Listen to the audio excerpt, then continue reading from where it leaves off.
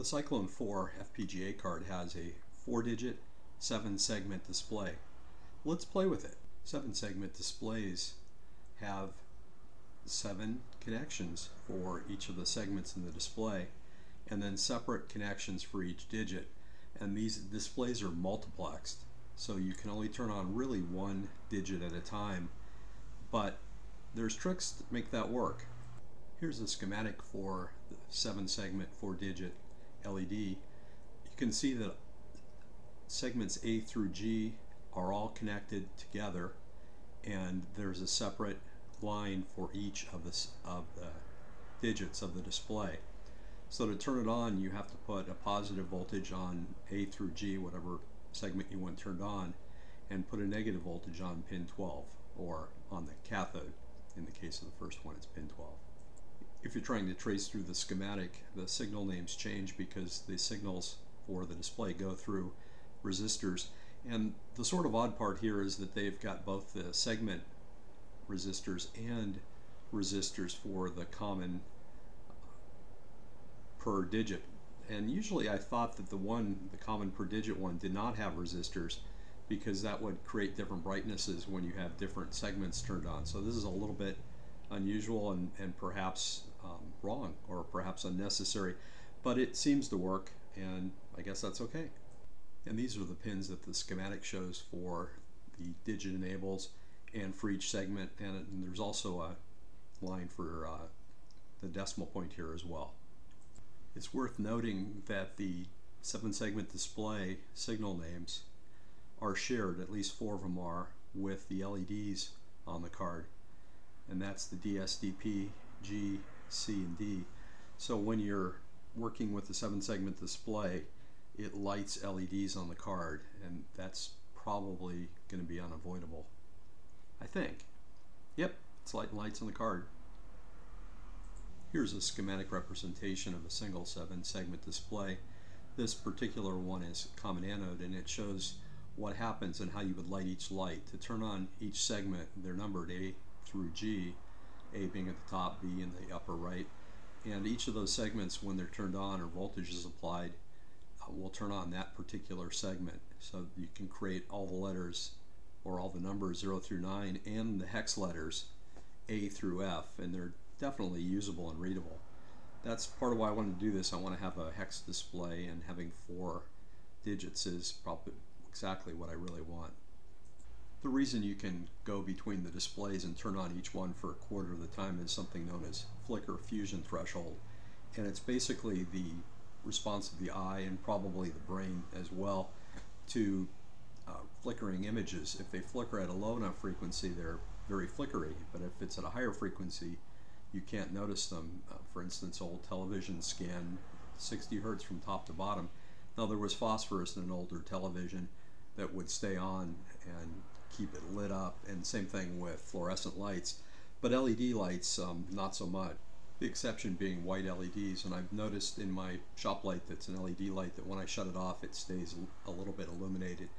I think they've got some trick they're doing in there as well. I've never really looked into it, but this article indicates that white lights have a different effect. Well, Uncle Google to the rescue. I did a search and looked for seven segment LEDs with four digits and found a VHDL project on the FPGA for student site and thought I could adapt it. Um, several hours later I'm done adapting it so it, it works and we'll take a look at it in a second. Here's an illustration of the two types of seven segment displays. One of them is common cathode and the other is common anode. One shares a common negative pin and the other shares the common positive pin that code that I found was written for the other type of display from what we had, so I had to do some modifications to flip the senses of the bits. Rename the entity to elapsed time counter, and it's counting in hex, so it's a little strange for people to watch. They might walk up to you and say there's something wrong with your computer because it's counting 0 through F on all the digits, but it um, could be changed to be a BCD counter and count up 0 through 9. Just thought it was kind of cooler this way and definitely more computer geeky. But this is what I want anyway. The goal is to just have a place that I can put 32-bit uh, values out to, or excuse me, 16-bit values out to. Uh, and this particular example exercises it by doing a one second count and every count incrementing the counter. Uh, kind of fun to watch too, something that the board is doing when it's just sitting there. I had to flip the segment bits over to make them correct. So for instance, 0 turns on all of the digits except for the last one. Their code was the reverse because of the common cathode, common anode difference between the card that they wrote their code for and this FPGA card. Um, not a big deal. Um, also, while I was in there, I changed all the frequencies to 50 megahertz instead of 100 megahertz. The port map is pretty simple. It gets the clock uh, not reset because they were active high reset, and it gets the anode activate and LED out for the segments and LEDs select. I'm going to put all this code up in GitHub and put a link down in the show notes for where you can find it. There's only two sets of pins to add to the pin list, the anode activate and LED out, not too complicated. And of course you have to go to the pin planner and connect it up to the actual pins of the part. Uh, originally it was backwards. Um, so I'm not quite sure why. I didn't really dig too hard. I just saw it was counting on the most significant digit first and then just flipped them around and it worked fine after that. So if you use this code, it should just work on the card. It seems to do the job. And here it's running on the card. I've set up the far left switch so that when you press it, it resets the counter back to zero, resets the microprocessor. You can also see the LEDs blinking across the bottom in in concert with the display segments.